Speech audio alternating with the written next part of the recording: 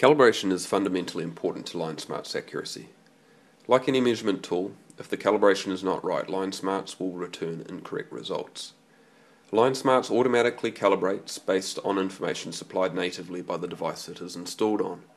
However, sometimes the available information isn't enough, and the automatic calibration can be wrong.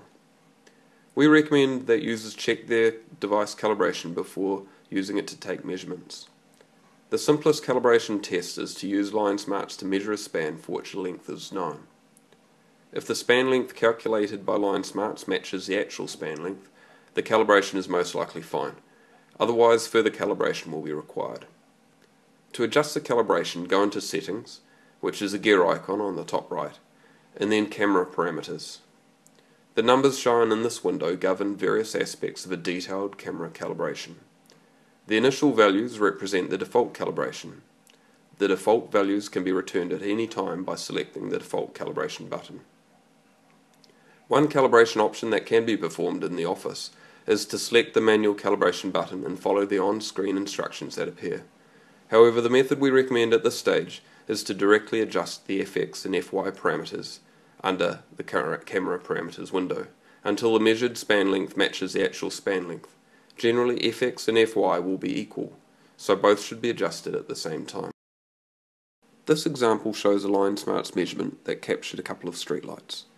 As shown in the notes, the measured distance between them was 34.97 metres. But using LineSmart's default calibration parameters, my tablet calculated a span of 34.79 metres. That's close enough that you almost wouldn't worry about it, but for the sake of demonstration we can adjust the calibration to make the measured span match the actual one.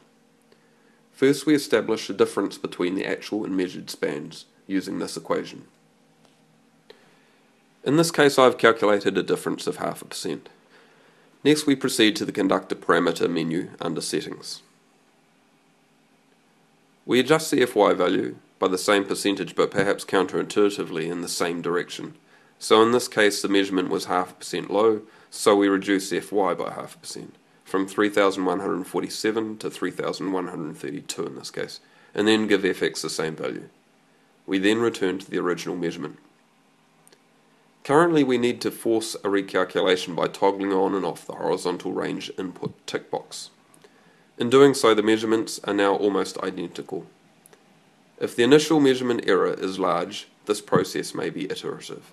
Several adjustments may need to be made before a satisfactory calibration is reached. Once a good calibration has been reached, it would be worth checking the height of something for which a height is already known, to verify the accuracy of the vertical measurement as well.